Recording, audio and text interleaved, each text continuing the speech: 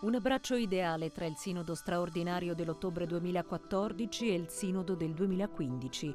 Lunedì sono stati inaugurati i lavori della quattordicesima Assemblea Generale con l'intervento di Papa Francesco che ha da subito messo l'accento sull'importanza di camminare insieme con lo spirito di collegialità, adottando coraggiosamente la parressia, lo zelo pastorale e dottrinale e mettendo sempre davanti il bene della Chiesa e delle famiglie.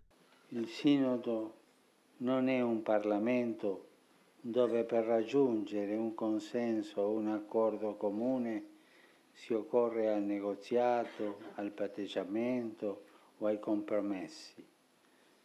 Ma l'unico metodo del Sinodo è quello di aprirsi allo Spirito Santo, con coraggio apostolico, con umiltà evangelica e con orazione fiduciosa, affinché sia Lui a guidarci, a illuminarci e a farci mettere davanti agli occhi con i nostri pareri personali, ma la fede in Dio, la fedeltà del, al Magistero, il bene della Chiesa e la salus animarum. Il pontefice ha poi invitato tutti a essere docili all'opera dello Spirito Santo, ascoltando la voce di Dio che parla nel silenzio e ad avere coraggio apostolico e umiltà evangelica il coraggio apostolico che non si lascia impaurire né di fronte alle seduzioni del mondo che tendono a spegnere nel cuore degli uomini la luce della verità, sostituendola con piccole e temporanee luci, e nemmeno di fronte all'impietrimento di alcuni cuori che, nonostante le buone intenzioni, allontanano le persone da Dio il coraggio apostolico di portare vita e non fare della nostra vita cristiana un museo di ricordi. L'umiltà evangelica che sa svuotarsi dalle proprie convenzioni e pregiudizi per ascoltare i fratelli vescovi e riempirsi di Dio umiltà che porta a puntare il dito non contro gli altri per giudicarli, ma per, per tendergli la mano, per rialzarli, senza mai sentirsi superiori a loro.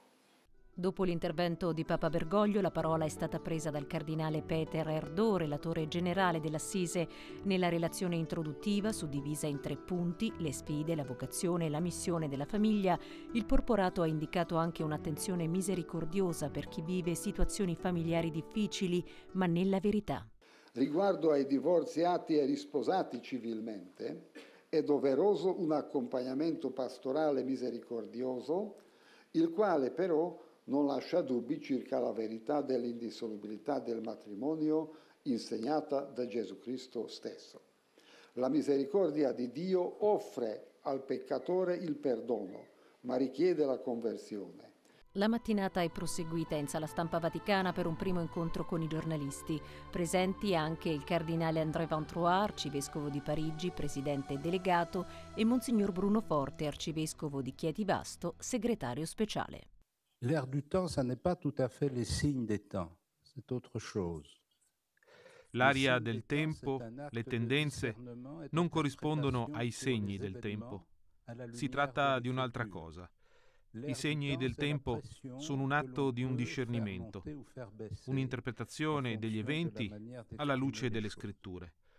L'aria del tempo è una pressione che possiamo adottare in funzione del modo di esprimere le cose.